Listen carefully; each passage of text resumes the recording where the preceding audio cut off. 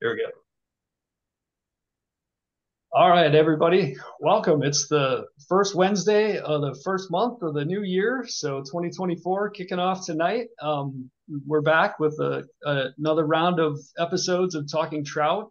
Um, our, our, guest tonight is Russ Thurow. He's a, a, former Wisconsinite, raised and you know born and raised here in Wisconsin, and he'll I'll let him kind of tell his backstory in that. But um, Russ is going to be on talking about the um, probably one of the most important conservation issues of our time right now, and that's the the Snake River and, and what's happened to the salmon, the steelhead population out there. Um, when we look at some of the threats that they face regarding, you know, we hear a lot about the the four lower snake dams that um, that everybody's pushing to. Well, a lot of folks are pushing to to have removed, and um, what we can do um, as a society, basically, to make sure that this population of fish um, not only survives but thrives in the future. So um, Russ has been has been has basically spent his entire career studying the, the fish in this in this region, and uh, he's got a ton of information for us. Um, so we're super excited to have him. I will say, you know, um, it is a little bit of a stretch for us um, doing talking trout. Like up until now, all of our topics and subjects have been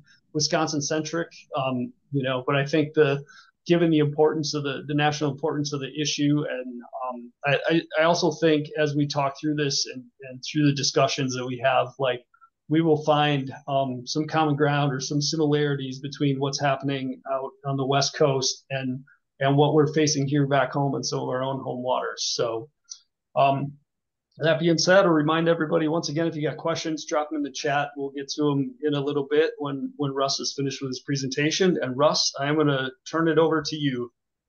Okay, thank you. Thanks, Mike. And I also want to thank Bob Retko and his wife, Pat. Um, Bob and I reconnected. We were classmates at Stevens Point, and I drove back to Wisconsin in October, actually stayed with him, and Bob had the idea of doing something like this and reached out to Mike, and here we are tonight. So I'm going to get started. I'm going to share my screen. I have a lot of information I'm going to cover. Again, if you have questions, just put them in the chat box or write them down, and we'll get to them after. So let's see here. I'll share my screen. And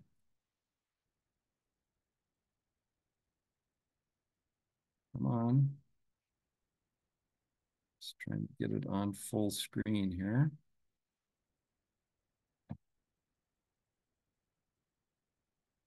Hmm.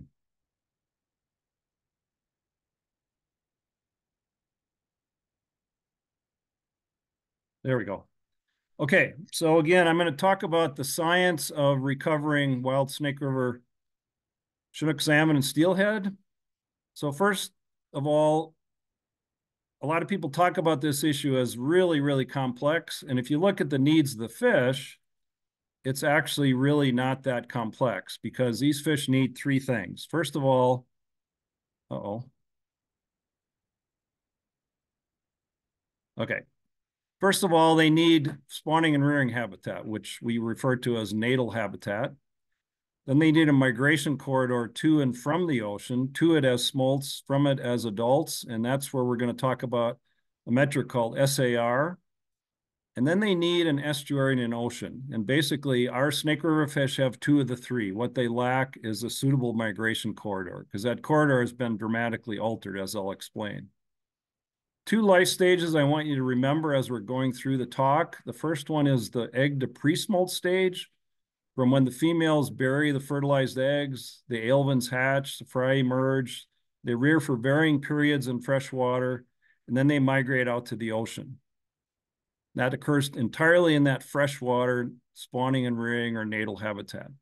The second life stage is smolt to adult stage. That's where that acronym SAR comes from.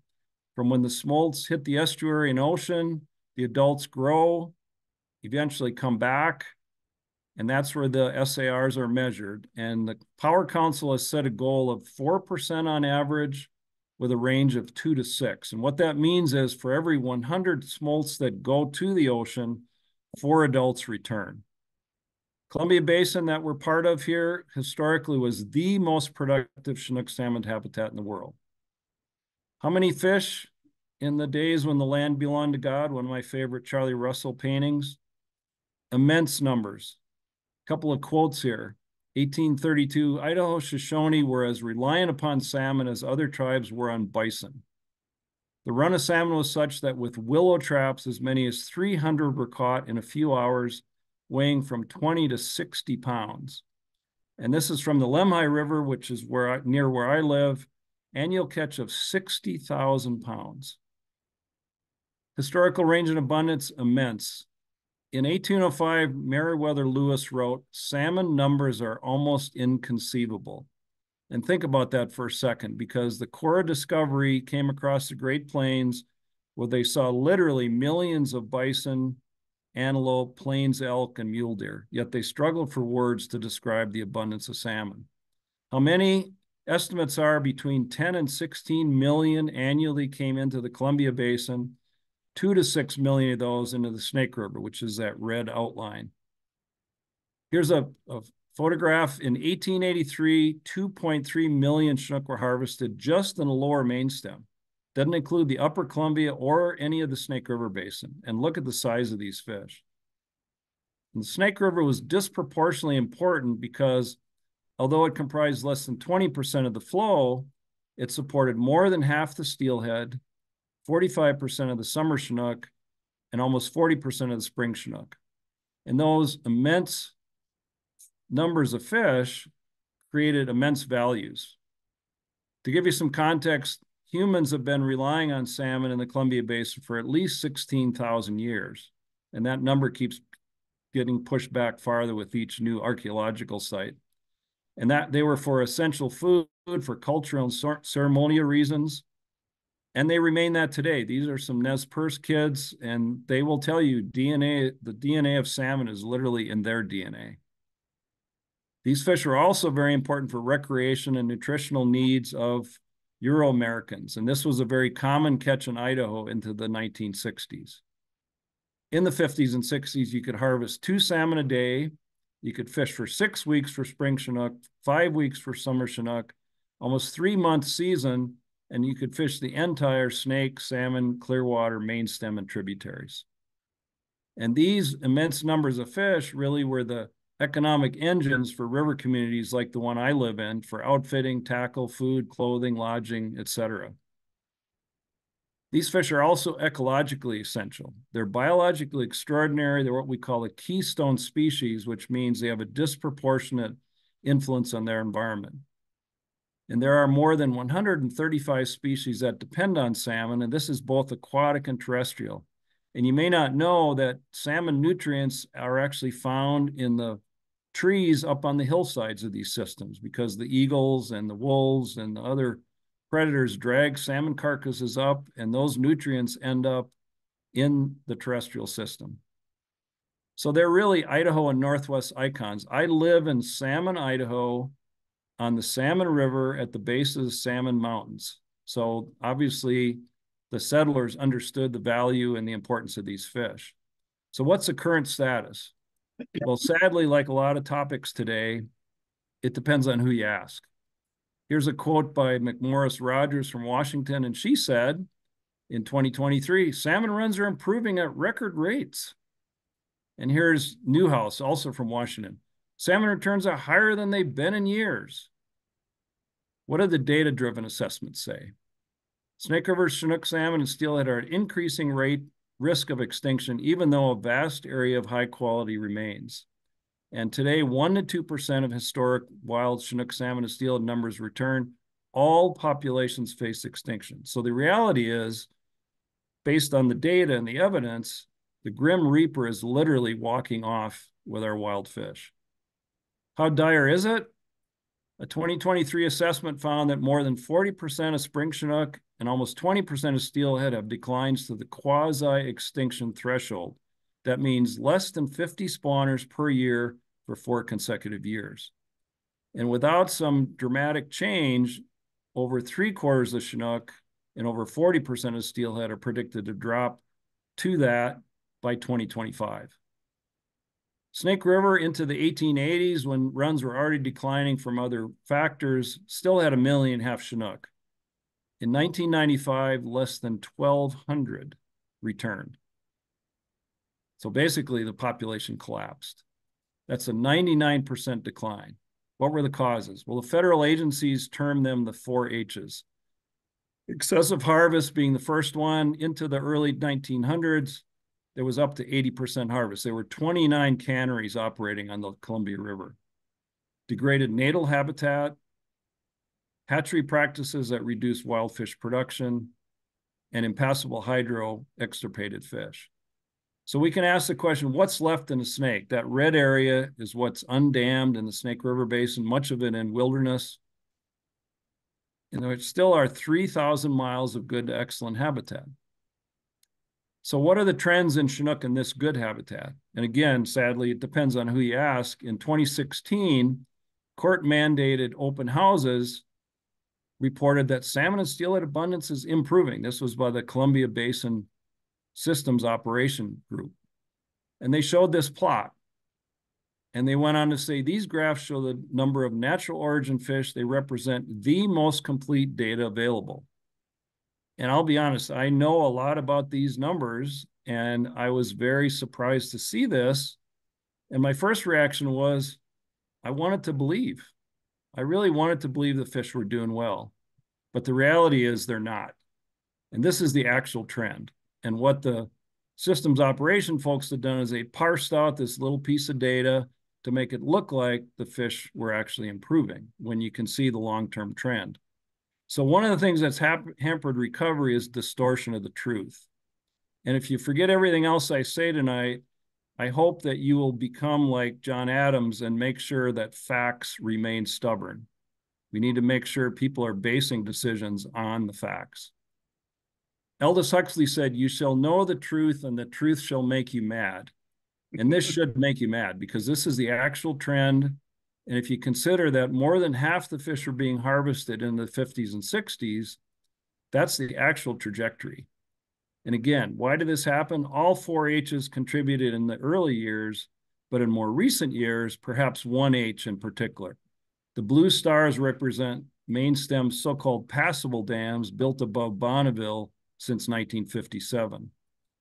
And these last four are the Snake River dams. And you can see that this steep decline is coincident with the completion of those four dams. I'll come back and talk about this spike in the early 2000s in a few minutes. So here's the path of our fish. They come out of the salmon, they go down the snake, they go on the Columbia. They do this arc off the Aleutians. They may do that three times, just remarkable. This is where the changes have occurred. And evidence suggests this is the primary cause of our salmon declines because it's been coincident with development of this hydro system. Our fish must now go down through eight dams to the ocean as smolts and then return through those same eight dams on their way back as adults. And NMF's own documents state that this is a primary threat to viability couple of quotes I'll read here. Fantastic fishing for salmon and steelhead continued in Idaho through the 50s and 60s, and not by coincidence began to steeply decline about the time the last shovel of dirt went into Lower Granite Dam. That's the eighth dam in the early 70s. And this is a quote by Idaho Fish and Game biologist. Idaho steelhead anglers were dealt a severe blow with the unprecedented emergency closure of the state's waters to fishing. The foremost killer of our salmon and steelhead is recognized as the Snake and Columbia River dams. That was back in 1974. So what changes have occurred? Well, the first change is in the SAR stage, that's smolt-to-adult return rate. In the 1960s, with four dams in place, SARs averaged 3.5 to 6.5. As those additional four dams were built, SARs often dropped below 1%. And in fact, from 2000 to 2018, SARs average 0.7, less than 1%. And again, this is the Power Council goal, two to six, mean of four. So we're far, far below even the lower bounds of that. Second change is dramatic in-river changes. We now have 325 miles of reservoir in what was formerly free-flowing river. And if you look at the two photos of the, from the 40s and the 50s, you can see a lot of complexity in the channel. This is what it looks like today and it has since 1972. It's just a reservoir, slack water. And what that also means is water travel times for smolts have become much, much slower. Smolts used to reach the ocean from where lower granite sits two days in two days. Now it averages almost 20. In drought years, it's 40. And the importance of this is smolts are going through a physiological change that allows them to go from freshwater to saltwater. And so the timing of that migration is really critical. And if they're delayed too much, they suffer much higher mortality. Third change is delayed mortality. It's basically each dam encountered impacts juvenile steelhead. It's, it's analogous to running a gauntlet. They become so beaten up after going through eight dams and reservoirs that few survive. And in fact, the data show that almost three quarters of fish that pass through the whole system die as a result of injury or stress.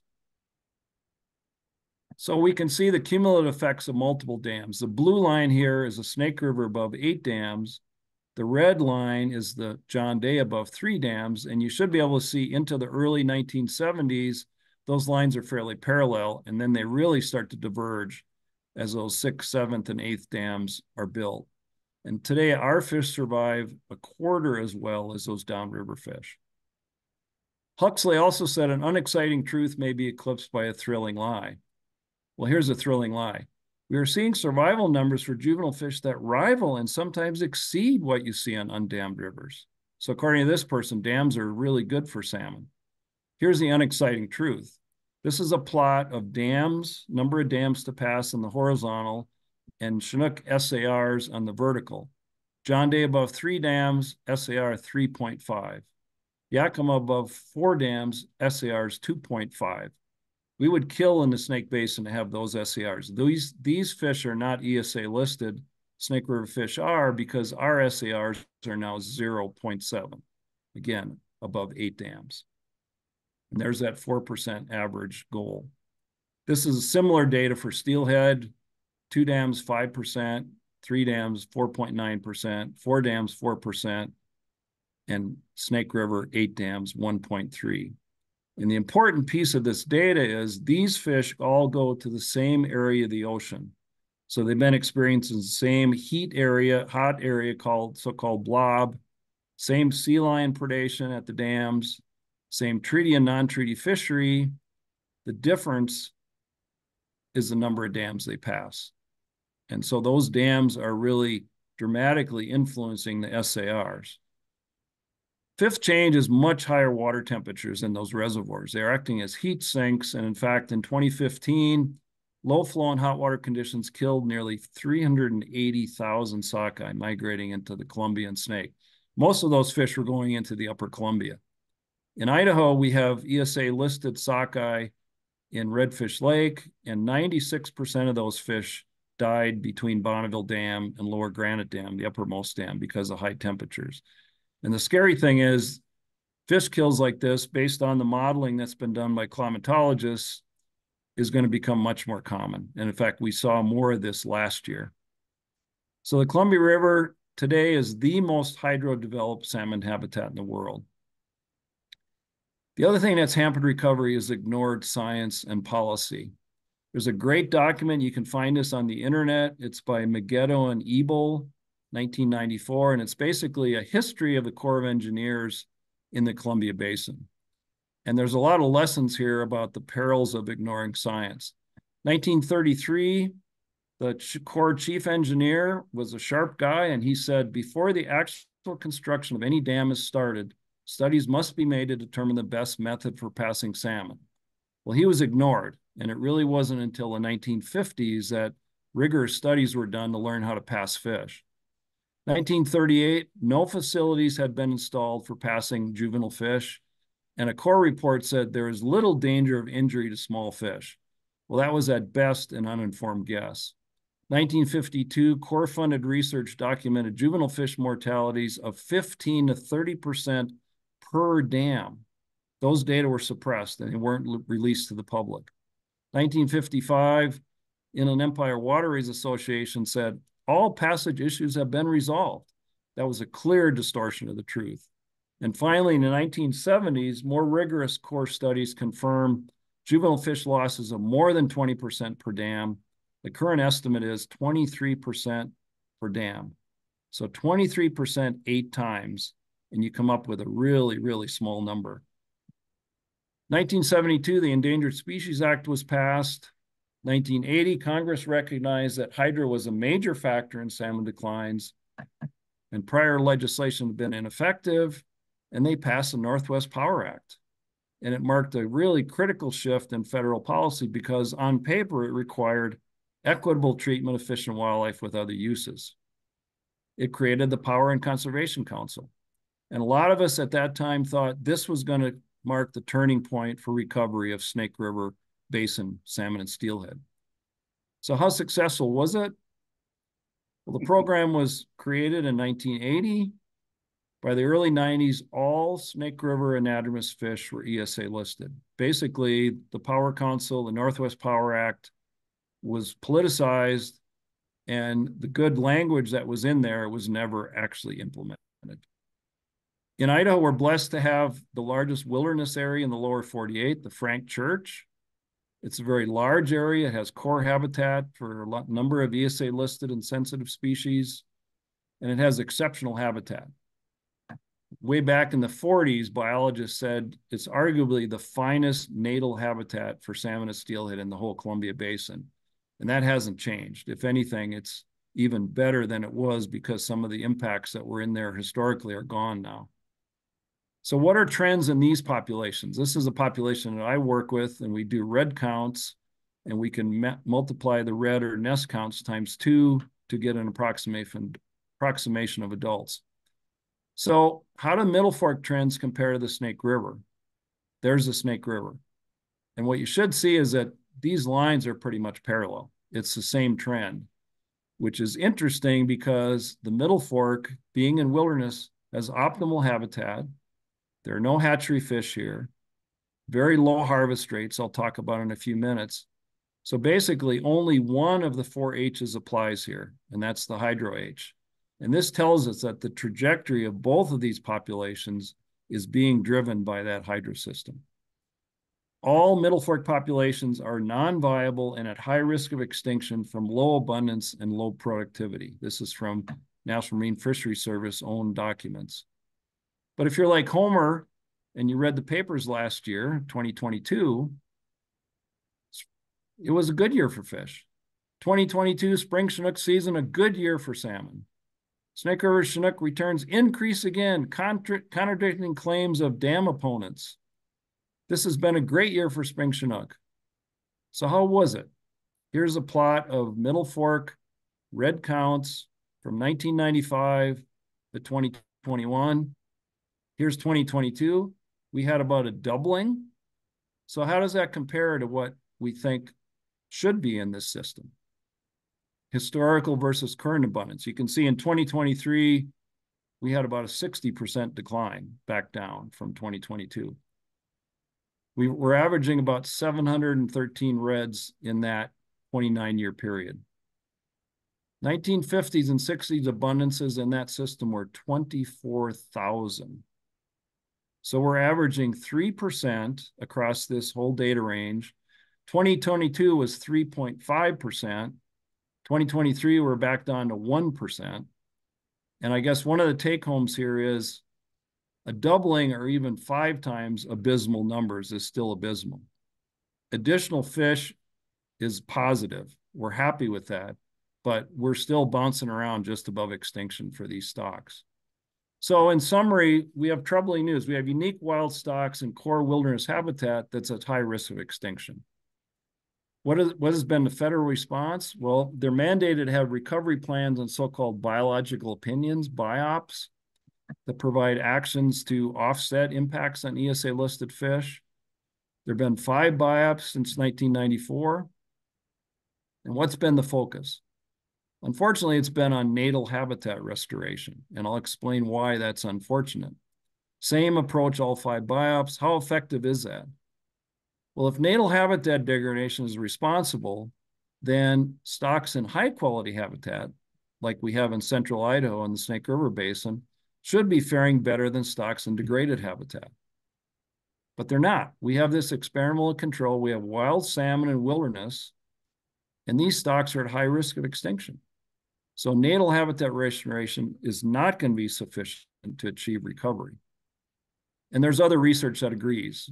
This publication, natal habitat actions are not going to produce increases in survival needed for the Snake River populations, potential improving overall survival through habitat restoration is low to non-existent for most 84% of populations. Are there places where natal habitat restoration is beneficial? Yes, absolutely. Places like the Lemhi River that have been severely degraded, it's been channelized, it's been dewatered, tributaries have been disconnected. So restoration work here is positive. But let's look at some numbers. What were the redd counts in the early 1960s? This is when arguably the Lemhi was in its worst condition because the degradation really started post World War II, continued through the 50s into the early 60s. Well, in those early 60s years, we averaged almost 1,600 redds in the in the Lemhi system. Contrast that with contemporary Lemhi. Lots of lots of work being done to restore channels, dramatically improved natal habitat, new channels, restoring the complexity, reconnecting tributaries, a lot of cooperation from the ranchers. What are the redd counts? Since 2019, we've averaged about 3% of what was there in the 60s. So part of the point here is that quality natal habitat's essential, but habitat itself doesn't make salmon. Salmon make salmon. The issue here is getting fish to the ocean and back again. And even if we had the money and time to restore the Snake River Basin to wilderness condition like we have in central Idaho, those data show that we still would have ESA listed fish because we can't get them safely to and from the ocean. So we have flawed recovery plans up to now that have really hampered recovery. Trends in wild stocks and wilderness confirm within basin actions are not sufficient. We have to work in the migration corridor. And the courts agree. All five biological opinions were rejected as not scientifically sound. There's also been political tampering. I'm going to read this astounding quote. The 2004 BIOP was based on the astonishing assertion that because the dams were built before the enactment of ESA, they are as much a part of the natural environment as waterfalls even though the current document acknowledges huge salmon mortality caused by dams. So this is clear political tampering where NOAA Fisheries was not allowed to use the data that they knew was there. Um, instead, these kind of messages were put out to the public. So here's one fact. Despite $25 billion spent on fish and wildlife restoration in the basin, all Snake River anadromous fish remain at high risk of extinction. Jim Norton has called this the most expensive failed ecological recovery project in U.S. history. 1992 is when Barney came on the scene.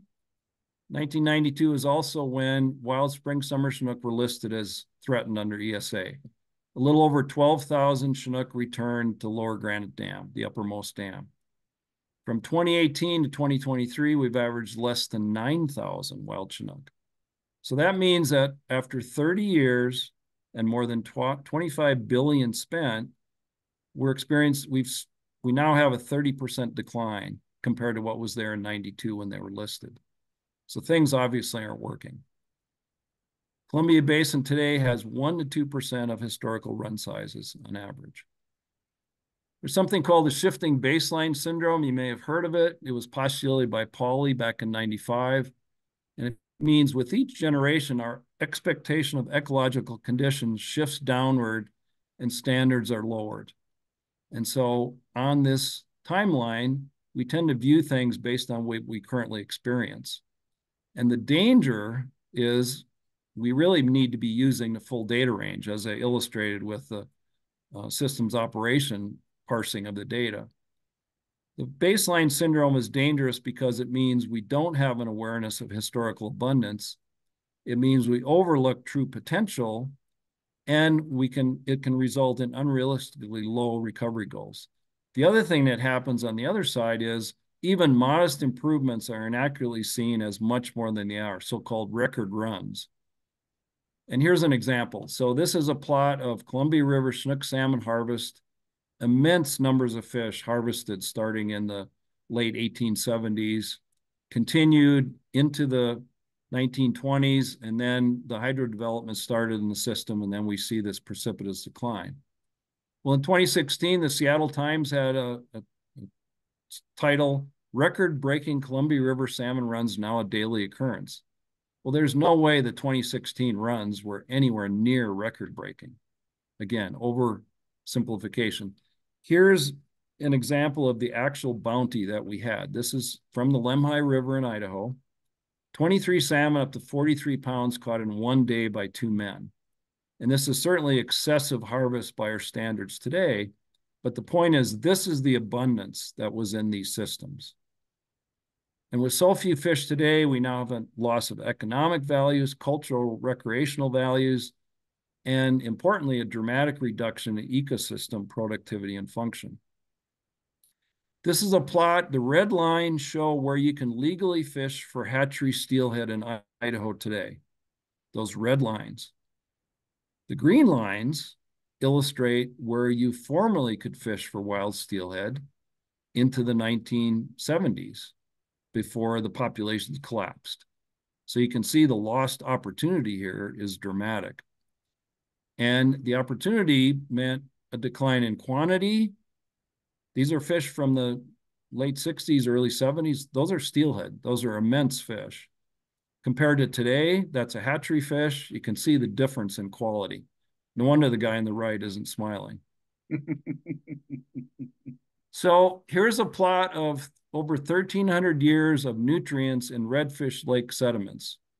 This is stable isotopic nitrogen and you see it bounces around, but then you go to the right side of the graph and you see that highlighted area, that steep decline, that's when the dams began to be installed in the Columbia system. And basically, we're headed for bankruptcy. We're losing those essential nutrients that are part of that system. Maslow said, if the only tool you have is a hammer, you tend to see every problem as a nail. Well, the hammer that's been used in the Columbia Basin up to now has been natal habitat restoration, and minor hydrosystem improvements. And that's not going to successfully recover these fish. That's because this is where the bottleneck is. When you have these low SARs, failure to improve them is not going to be an effective response. And that's because we know that 80% of the variation in salmon survival is explained by SARs. And when SARs are less than 1%, like we're experiencing, we see these steep population declines toward extinction. So the proper tool for recovery is this, increase those SARs. And the way we do that is we speed up the river so that water travel times are reduced and we reduce the number of powerhouses those fish have to go through. And in fact, one of the judges, Simon, clearly said these dams are causing irreparable harm to imperiled fish, and he directed the agencies to assess all prudent, reasonable, and prudent alternatives, including removal or breaching of the four lower snake dams. And that is finally on the table. So we know that factors outside these basins are what's driving the trajectory of the population. How do we know that? One of the ways we know it is when we have these increases like we had in the early 2000s, these are the trajectories that we'd expect. The actual trajectory was this. From 03 to 06, we had a tenfold, excuse me, tenfold decline. And that's because the factors that cause these fish to be listed in the first place persist. Increased mortality outside the area after the smolts leave negates the benefits of those additional adults and juveniles produced in natal habitat. So poor migration conditions are causing these low SARs that are driving these population trajectories. So actions in the migration corridor are essential to increase SARs. There's no within natal habitat solution for these fish. So what can be? Well, if we have a foundation recovery for recovery based on science-based frameworks, we can succeed. We need an informed public. That's you and policymakers that are influenced by that informed public. And we need migration corridor actions to improve SARs two to six fold. I want to talk about the ocean for a second. Ocean conditions dramatically affect salmon survival. They always have, they always will. When we have favorable conditions, which are typically for our fish, cold water upwelling, more food, more copepods, high lipid content copepods, we see more returns from the ocean. When you have unfavorable ocean, which is warmer temperatures, lack of upwelling, lower food abundance, then we have fewer salmon return. But we have limited ability to influence ocean conditions, except for limiting carbon emissions as part of the overall climate effects that we're trying to limit. And in fact, the Independent Science Advisory Board for the Columbia Basin has said climate change is considered an uncontrollable factor at the program basin level. In contrast, human-caused hydrodevelopment is clearly linked to salmon declines. Those reduced SARs I talked about, those increased water travel times, we have extensive ability to improve these conditions because we created them. And in fact, the Independent Science Board has said this is a controllable factor as a, at the program basin level. So there is a path forward. In the 1990s, more than 30 participants from 15 state and federal agencies, tribes, universities, consultants gathered as part of the plan for analyzing and testing hypotheses to look at what can we do to recover these fish? This was in the in the 90s. Well, in 1998, they came out with their final report and they said the only option that will provide recovery is the natural river option, restoring the snake. It has the highest certainty of success, lowest risk of failure. Well, that was in 1998. And those path conclusions have been reaffirmed by scientific review panels, agencies, scientists for the last 25 years. They just have still have not yet been implemented. The comparative survival study estimated a two to threefold increase in abundance with the natural river option and a fourfold increase if it's coupled with spill over the existing, over the remaining Columbia River dams. And here's a quote from 2021. Emeritus scientists wrote to Northwest governors Based on overwhelming scientific evidence, restoration of a free-flowing lower snake is essential to recover wild Pacific salmon and steelhead. And finally, last fall, NOAA Fisheries came out with a report where they basically said breach must be part of any solution to recover these stocks. So there's been a lot of movement on this issue, finally embracing the science that we've had since the 1990s. And that's because improving SARs is going to be a much more effective solution to recovering these populations. What I'm going to do now is focus in on the area where I work more specifically, the Middle Fork Salmon River. I've talked about it a little bit. It's a good area to look at wild Chinook in high quality wilderness habitat and informs what can be. So there's a lot of collaborators here with my own entity, the Rocky Mountain Research Station, but also state, federal, tribal entities, as well as universities. So we have some remarkable databases here in the Middle Fork. Idaho Fish and Game started redd counts in this system back in 1957 in index reaches of certain streams. They're shown in the red on the left. So we have a 66 year database that was started by these iconic biologists. Second database is one we started at the Rocky Mountain Station in the early 90s it's a complete census of all the other areas of the system that aren't part of that index count. We now have almost, we have 29 years of data here. So we have this spatially continuous, temporally replicated data set showing where fish are spawning in that system. Each one of those redd dots represents a Chinook salmon red. So a really powerful data set from an analytical standpoint. And we have data from carcasses. I, I only talked today about uh, DNA, there's a lot of other information we can gain from Chinook carcasses because they all die after spawning. And finally, we're assessing effects of natural disturbances in that basin. So some applications. What have we learned about essential habitat? Well, the Middle Fork is an excellent location to study because we can control for several variables, specifically the four H's. The Middle Fork has high quality, complex, connected natal habitat, again, arguably the finest in the Columbia Basin, so we can take the habitat H off the table. It's not a limiting factor here. We have unique wild fish in this system. There are no hatcheries in the Middle Fork, no hatchery fish are stocked there. Only 4% of the Columbia Basin still supports wild fish like these. So these are literally the rarest of the rare and the best of the best. No others in the world spawn so high, up to 6,600 feet in elevation, migrate so far over 900 miles. Friend of mine calls them mariners and mountaineers, and that's a really apt description. They have very diverse life histories. They spend less than a year in freshwater, two years, less than a year in saltwater, up to five years. Precocial males mature entirely in freshwater. If you add all that up, we can have 18 different age classes contributing from prior brood years. Tremendous diversity, and that spreads the risk, buffers fluctuations, and enables these stocks to adapt to a dynamic environment. They're also still genetically diverse, surprisingly, with the low numbers we've been experiencing. You have both within and across population differentiation. So fish in lower Camas Creek are different than fish in upper Camas Creek, and Camas Creek fish differ from loon, from big, et cetera.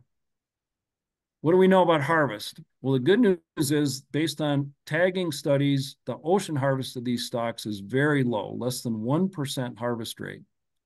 And the treaty and non-treaty fishery is taking an average of about 9%. It's tightly regulated, more than we'd like to see at these low numbers, but these are not driving these fish toward extinction. So low harvest, the habit, the harvest age is pretty much off the table too. And it's been 45 years since you could legally harvest a wild Chinook in Idaho, since 1978. What, what do we know about resiliency? Well, what is resiliency? It's a to me, it's ability to withstand negative conditions that would drive these stocks to extinction, and conversely, ability to respond when conditions improve. I've been teasing you with that spike in the early 2000s up there in the uh, right corner of the Snake River. Well, that's this is when it occurred. 2001 through 2003, we had a five-fold increase in number of adult Chinook returning to central Idaho.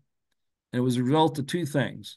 We had more water, rain, snow, and faster travel time when those fish went out to the ocean. And when we have faster travel time and more water, more survive through the hydro system. And then we had a corresponding increase in ocean productivity, up cold water upwelling. So we had this five-fold increase in adults return. There were actually newspaper articles when this occurred that said, we've solved the salmon recovery crisis. We didn't solve anything. Mother Nature did us a favor. But the important point here is the fish responded. They are still resilient, even though they've been bouncing around these very low numbers. And as we talked about before, it wasn't sustained. We had a tenfold decline, illustrating that the conditions that drove these to be listed still persist. What do we know about landscape processes? Western landscapes are very dynamic. We have fires, we have floods, we have avalanches, we have debris flows. These fish evolved here. And a couple of key concepts. One is complex life histories like this result from those disturbances. And life history diversity is the solution of survival in these dynamic environments. And diversity reduces risk, the so-called portfolio effect. The more diverse populations are, the fewer eggs there are in a single basket.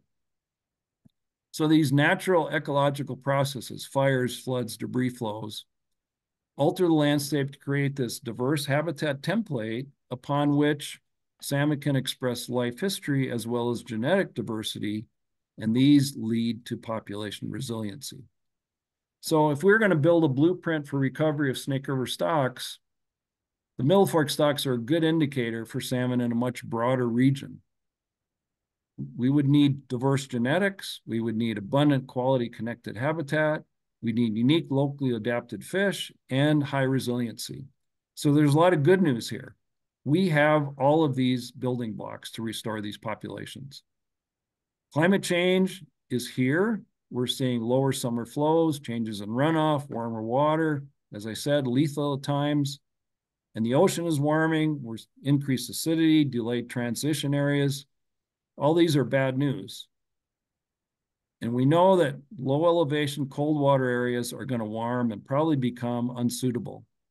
Even here, there's good news because the Snake River Basin will provide cold water refugia even into the future of climate change. The Snake River Basin contains the coldest, most intact stream habitats in the lower 48. 40% of the public land in the snake is within wilderness. 40% of the available cold water habitat lies in the snake. By 2080, it's predicted that 45% will be in the Snake Basin. So although a changing climate adds urgency for action, Central Idaho's high elevation habitats in the snake are going to persist. How does salmon survive the future? I'm going to read this quote. In environments facing increasingly volatile futures, it is prudent to promote and maintain diverse life history portfolios. And salmon are buffered to changing conditions by behavioral and life history diversity. Restoring salmon numbers is a priority because it increases buffering. So these wild, locally adapted fish in the Snake Basin are going to be best suited to adapt to the uncertain future of climate change. And the more we have, the more buffering they'll be, and the more likely they will persist for our grandkids and beyond. So if restored, wild salmon and steelhead can are best suited to adapt to that uncertain future. There's even the potential for these high elevation stocks to refound populations at lower elevations on the coastal areas. The reverse is not going to happen. You're not going to train a coastal fish to migrate 900 miles and climb 6,600 feet. How do we know snake river restoration is going to succeed? All the building blocks persist, demonstrated wild fish resiliency, decades of science going back into the 90s, and successful restoration examples, the Elwha, the white salmon, Kennebec, Penobscot, Neuse, Patapsco, Baraboo, Nooksack. And in 2023, one of the three Klamath dams that are coming out was removed. In 2021, 57 dams were removed that reconnected over 2,100 miles of stream. So there's a dynamic tension here. We have wild salmon still at high risk from a degraded migration corridor, from low abundance, from truth distortion, from political tampering, and a changing climate adds urgency to act. But there's also a lot of good news. We have wild fish, they're resilient, they have refugia, and they have quality natal habitat. And if actions are taken to restore SARs in that migration corridor, there's absolutely no question these fish are going to respond and rebuild relatively rapidly. And what these are photos from salmon, the, the archive here in the little town of Salmon, 3,000 people. What once was, those are steelhead. Some fish up to 40 inches. Can be steelhead as big as your children. Again, Here's one of the things people did on their honeymoons in the 40s, 50s, and 60s. The bottom line is barging, irrigation, energy production values from those Snake River dams have alternatives. They can be replaced. Idaho's wild salmon and steelhead are irreplaceable. If we lose them, there's no other fish on the planet that can replace them. And with that, I'd be happy to try to answer questions. I'm going to put my email up here too. If we don't get to some of your questions or if you think of stuff later, feel free to email me and I'd be glad to do my best to answer your questions.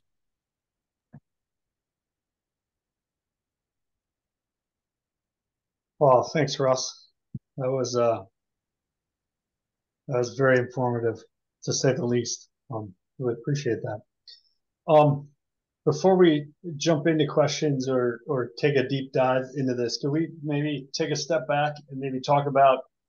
I, I want to give you a minute to maybe explain your story. Like, how did you get from a small farm in southeast Wisconsin to spending 40 years in in the middle of Idaho studying salmon and steelhead? Like, connect the dots for me. Okay. Um, yeah, I grew up on a farm in southeast near Ashippun, Neosho, I attended high school at Hartford and uh, ended up applying and, and going to Stevens Point, which again I said is where I met Bob, and had a, a really important person uh, that became my professional mentor, Jack Heaton. He's one of the people that built the fisheries program at Point, and it was at the time one of the finest fisheries programs in the country. And I worked hard and and was offered uh, an assistantship to go to University of Idaho, where I did my graduate work, and ultimately I was hired by Idaho Fish and Game as a research biologist, and I worked for them until 1990 and I began a lot of this work on, on Chinook and steelhead when I worked for Idaho Fish and Game. And then in 1990, the U.S. Forest Service started a research project. At the time, it was called the Intermountain Research Station, and then they um, changed their name to Rocky Mountain. And our headquarters are in Fort Collins. And I worked with them from 1990 until 2022 and uh, theoretically retired, although I'm still working on a number of things. And I'm currently an emeritus scientist, which means I still work under the research station. Um, and I'm still publishing information and working on these issues. That's great. I always love love hearing the Wisconsinite stories about us going out into the world and doing good things. So um, we're certainly glad you're out there and, and glad you're doing the work that you're doing and appreciate you um, trying to educate some of us folks. You know, I mean, I, I was just talking to my wife about this over um, the holidays. You know, what the kids asked, what states have you been to or what states haven't you been to? We made the list and Idaho was on both of our lists this year. I was like, well, we gotta we gotta change that, you know. And uh, so it, it's definitely it's on the list, and, and I think it's going to happen. But um, getting back to the the seriousness seriousness of the subject, um, could you maybe talk a little bit, um, like we know there's so there's eight dams, seven dams, kind of primarily like that these fish have to navigate around to get up into the upper snake system. Um, what are the interests or like what is the function of the dams? Or like there's obviously some some pretty heavy interests in keeping those dams in place right? Otherwise they would have gotten taken out a long time ago. So what what are kind of the interests that you're up against here yeah so to clarify so the columbia river dams are major major power producers in the columbia system and no one is proposing removing or breaching the Columbia dams because they are they are big drivers of power production, okay. in particular, and uh, other values. The Snake River dams were built. It it sounds absurd, but it's the truth. They were built to make Lewiston, Idaho, an inland seaport. And what that means is there's a lot of wheat production in the Palouse, which is near Lewiston, Idaho. And the idea was, oh, we'll build these reservoirs and we'll be able to barge wheat from Lewiston down to Portland. And it'll be a boon for everybody. And first of all, it was never really an economic boon to Lewiston. That's never materialized. Lewiston is being subsidized at the cost of a half million dollars a year, and it's losing money, the Port of Lewiston. Um, so the, the transport of wheat is one of the values that the Snake River dams do provide. However, and, and you know, I'm a biologist, not a wheat transport expert or economist, but my understanding is that the rail system is much more efficient. It's cheaper, it's more reliable. One of the problems with the barge traffic is with river conditions under climate change and low flows, the barging doesn't always get to Portland on time. And that's a big deal. So one of the values, transporting wheat, can easily be replaced by a more efficient system, rail system. Um, the power production by the four lower snake dams is pretty minor. It averages about 4% of the base in the Columbia. And I've actually seen reports that have suggested that energy conservation alone can compensate for the power that they produce. Now, some of the recent plans, the one that just came out here recently between what's called the, the six sovereigns and the administration, is to put a lot of effort into renewable energy sources, particularly solar, but also wind, to compensate for the production from these four lower snake dams. The other value that the dams provide is in those reservoirs, they do provide irrigation, but it's a pump irrigation. They're pumping up out of the reservoirs. And if the river is restored, that water is still going to be there. They can still, you know, it'll have to change probably the the location of where the water is pumped from, but the irrigators are not going to lose their water. They still have those water rights. It's just that we'd have a free flowing river to allow us to rebuild those those populations. And those are really the the major uh, values. Um, you know, I think the the rewilding of the snake is another one of those issues that you know there's a lot of opposition to change. The the people that have had the benefits don't want to see change.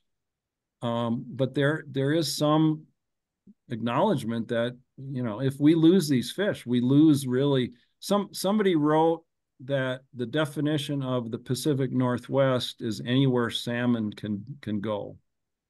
And if we lose these fish in the snake basin i mean i ask people if these fish go extinct what are we going to do we're going to rename the salmon river the extinction river we're going to rename salmon idaho extinction idaho i mean they're part of the fabric of the Northwest and have been for, like I said, for the indigenous people, at least 16,000 years.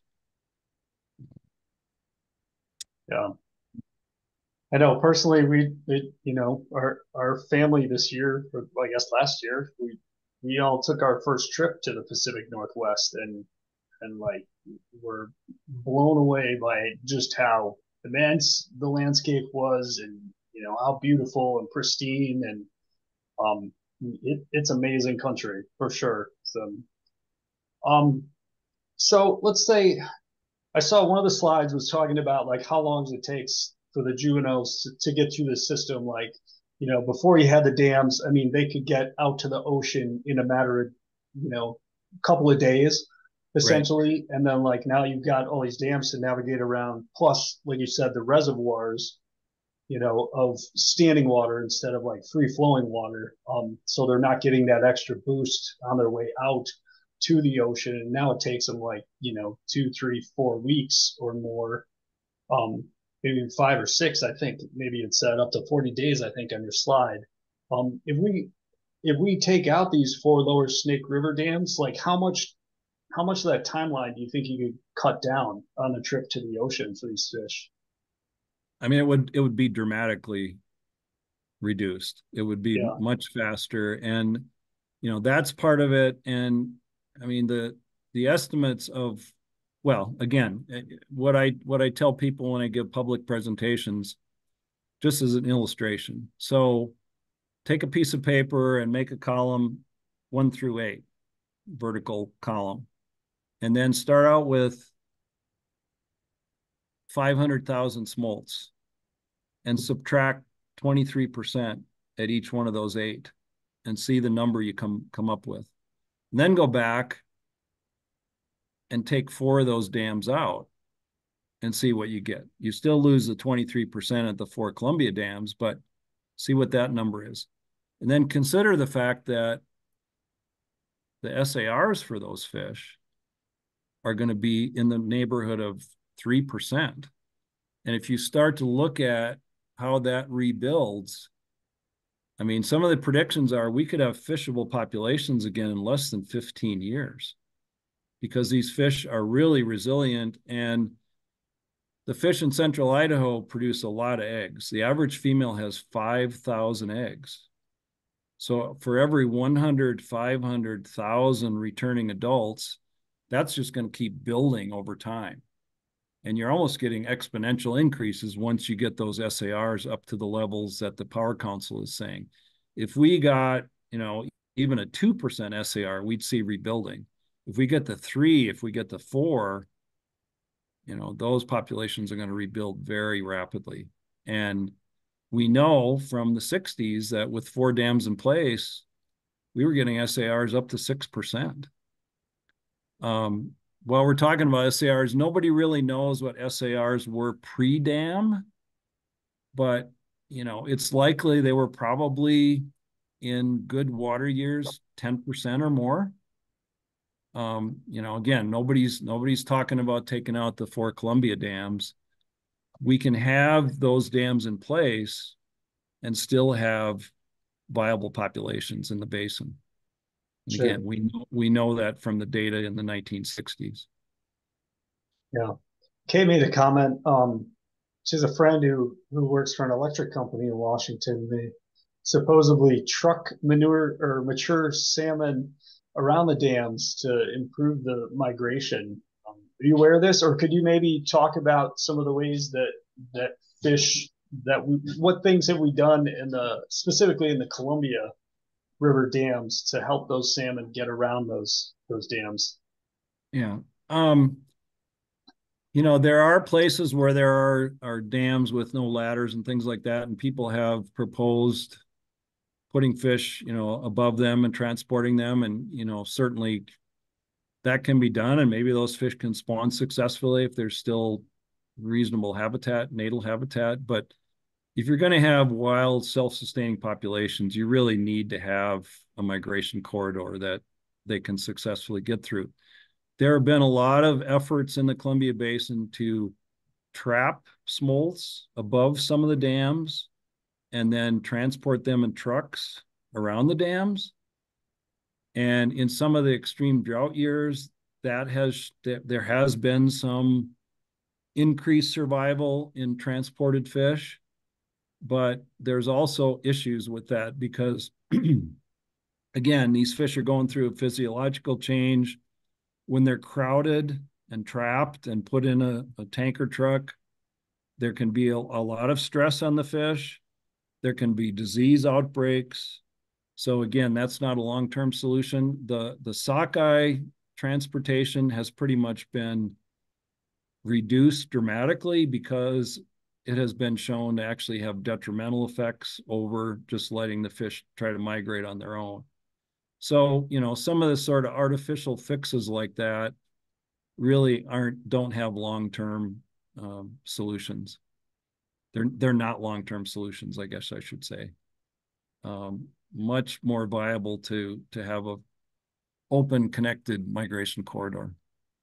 Um, the other thing I, I should mention about the reservoirs, and you know, we were talking about the migration of smolts. So there's multiple factors that are creating these low SARs and the mortality. You know, one of them is the delays. Another one is when those fish are in those reservoirs, the reservoirs are full of introduced predators. There's walleye, there's largemouth bass, there's northern pike. And these smolts are, you know, they're five to eight inches long and they're silver and it's like they're man, snack size. Absolutely, you know, and so that's a huge part of the, of the mortality. And then the other one is the actual physical passage through the dam. And you know, there's a number of different bypass things and other things, but the bottom line is none of them are good. And even the fish that survive, as we talked about, after doing that eight times, there's a cumulative effect and they're just beaten up and a lot of them just aren't going to return as adults. They've run that gauntlet and they're just not going to survive to come back as adults. Yeah. Um, Ron had a had an interesting question here. I think that that might be a good one to to maybe end on. Um, says, what are the lessons from the Klamath Dam removal successes that could be applied to the Snake River issue? Well, unfortunately.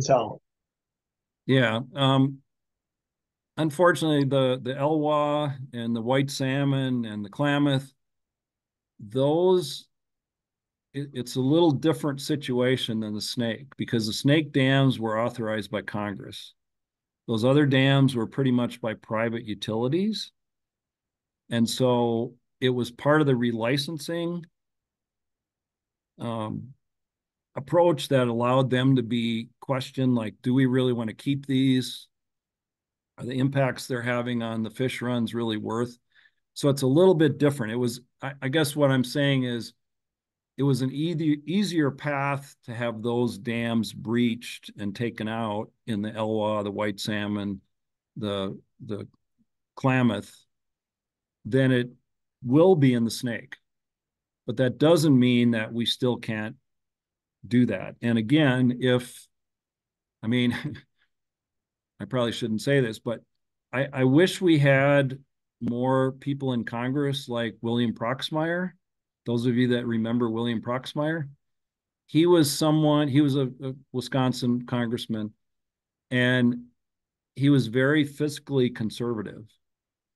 And if somebody like Proxmire would have seen 25 billion spent with a 30% reduction in numbers of salmon over 30 years, they, you know, he would have been on that issue and and would be doing everything he can to right that. So, you know, we need people to look at this. It's a very compelling story. The the phenomenal benefits to the Northwest of restoring these fish. I mean, the communities like mine are drying up because the fishing is just it's not here anymore. The hatchery fisheries that are supported now are just a fraction of what what it was and the the tribes the cultural values that they're not receiving and the ecological values to these systems. I mean um, i also work on west slope cutthroat. The salmon river basin has a viable west slope cutthroat population but like in the middle fork in the wilderness the the size of cutthroat is declining precipitously from what was there in the 70s and we don't have a good treatment control but it's very likely tied to the reduction in marine derived nutrients that these salmon used to return. If we've got a minute, I'd like to show one more slide. Sure.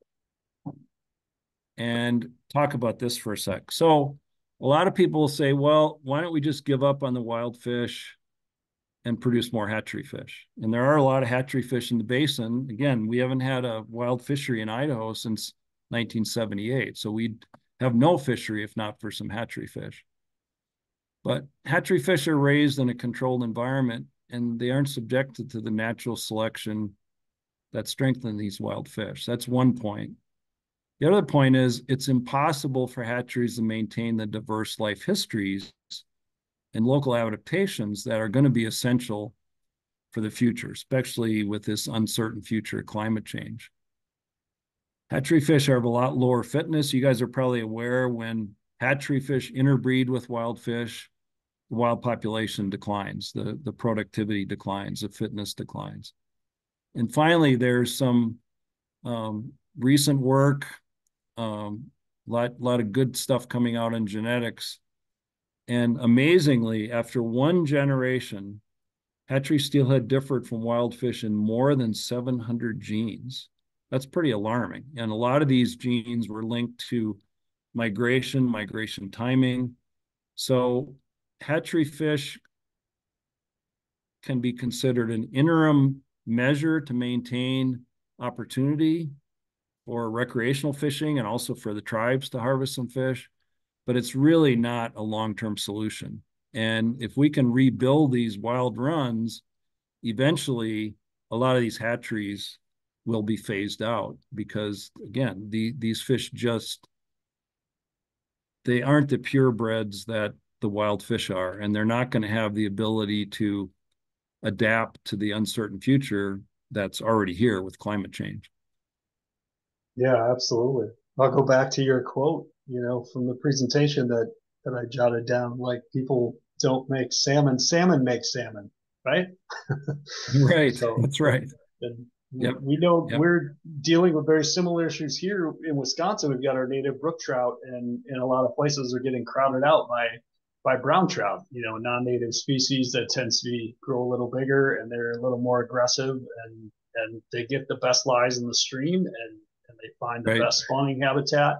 Um, and and the brook trout are kind of left to to pick pick up the pieces, you know, what they can, and um, but like you know people are realizing you know if we can give them even in places where the populations are, are way in decline if you give them just just give them an inch or two inches a little bit of space right uh, they will re, like you said they lay so many eggs and there are species much like you know just like salmon and steelhead they can repopulate a population in a hurry if they're given the right mm-hmm. conditions so um, yep. i certainly hope you know um, that we don't see go extinct in my lifetime, and certainly not in anybody's lifetime coming after us as well. So, um, yeah. I guess I think we're going to wrap it up there. Um, I'm going to close out. Uh, I know you're a good friend of Bob Retko, and he was kind of the reason he reached out to me and, and let me know what, what you were up to. And I, I certainly appreciate Bob doing that. And uh, I think it's been a really interesting conversation tonight. And uh, Bob had a quote here that he left in the chat, and I'm just going to read this. And I think uh, I think we'll leave it at that. So Bob's message was, uh, it says, being Midwesterners, many of us are unaware of the dramatic salmon decline in the Northwest. Uh, the decline is not a local issue; it is a national issue, somewhat comparable to the decimation of the American bison. When one looks at the numbers, uh, says Russ, thanks you, thank you for the excellent presentation. Russ Force educating us. So, thank you. We really appreciate you taking the time tonight, and uh, um, for folks that weren't able to join us, I'll go ahead and um, I'll get this up on the YouTube channel in the next couple of days. And uh, uh, really appreciate you taking the time, Russ. So thanks a lot. Can I, can I make one more comment? Yeah, of course, absolutely. Yeah. So again, you kind of said it in the beginning. Why why talk about this to a group of Wisconsin folks? And I mean, this really is a national issue, and you know, you haven't been to Idaho yet, but I think probably some of your other folks have, and or you've been to Washington, Oregon. Um, you know, this is a, a an issue that's going to benefit a lot of people, not only in the Northwest but throughout the country, and also just the you know the idea of like the Aldo Leopold quotes of knowing there are places that you still have an intact ecosystem. That's that's important for all of us. Um, so thank you for the opportunity the National Trout Unlimited, this is a very important issue on their radar. And I guess I would say if if your members want to follow up on this, feel free to reach out to me. And also, you know, look on the national website. I think there's probably some um, factual information there about how to, you know, influence your legislators and do things like that because this the, the next four years are going to be critical for these fish. There's some good plans out there now. It's just a matter of getting Congress to participate in this and and help do the right thing. Yeah, absolutely. And we will we will do our part to help get it over the over the hump. So thanks again, Russ. Thanks everybody for joining us tonight. Um, really appreciate it and uh, hope everybody um, hope some of you get out and uh, enjoy the Wisconsin the early season. The fishing opener opens this Saturday, so I hope some folks get out there. The weather looks somewhat mild, maybe maybe even above freezing in in parts of the state. So um, maybe you you know sneak out and spend an hour on the stream if you get a chance. So. But thanks again, Russ. Really appreciate it. And uh, everybody take care and have a good night. Thank thanks. you. And if you come to Idaho, look me up. I will do that. Thanks.